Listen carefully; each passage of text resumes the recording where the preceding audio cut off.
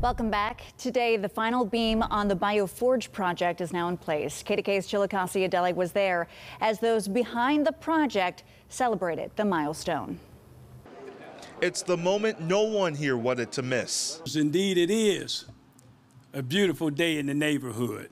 Phones out, people gazing as the final piece of steel completes this framework. We were the city that built the world. Now, with this new innovation, Pittsburgh can become the city that heals the world. It's a collaboration between Pitt, Elevate Bio, the Richard King Mellon Foundation, and other groups to democratize access to these extraordinary genetic medicines.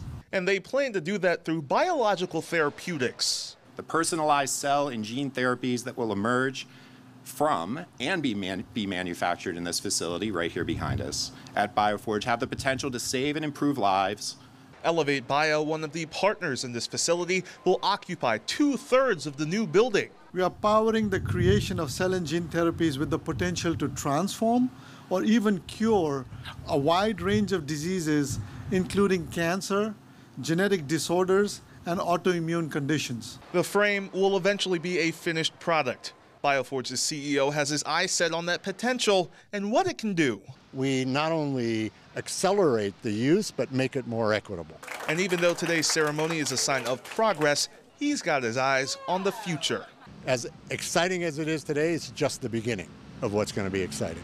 Now, Elevate Bio, one of the partners in this project, says it will create 170 permanent jobs. Additionally, 900 construction jobs will also be created as a result of this. In Hazelwood, I'm Chileaski Adele, KDKA TV News.